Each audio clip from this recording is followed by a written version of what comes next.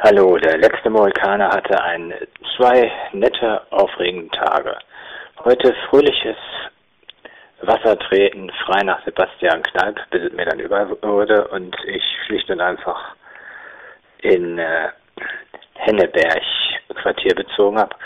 Gestern war es eine gewisse Zeit nicht ganz klar, ob ich überhaupt noch weitermachen kann, da meine hintere Bremse gänzlich an Leistung äh, verloren hatte im Prinzip nach Totaldemontage, Neuzusammenpuzzeln des Bremshebels und anschließendem Entlüften funktionierte das Ganze wieder.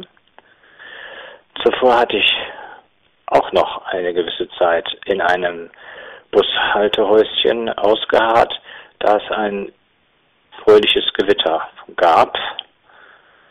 Und da bin ich nicht gerne auf dem Rad unterwegs.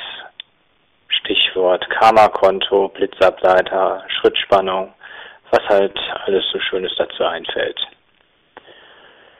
Ansonsten, ja, Himmel. Also äh, Radfahrendes Dauerduschen muss ich eigentlich nicht haben.